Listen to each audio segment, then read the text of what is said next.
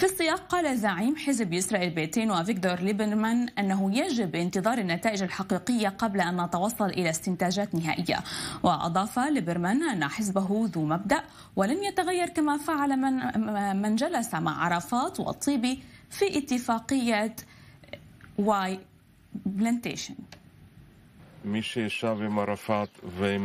من جلس مع عرفات وأحمد طيبي في اتفاقية واي بلانتيشن ووقع عليها ومنح مناطق B و C للفلسطينيين. لا يمكنه أن يكون جزء من اليمين. هذا بالنسبة لنا. ولهذا سنتخذ القرارات وفقا لما هو الأفضل لدولة إسرائيل وحسب وعودنا للناخبين.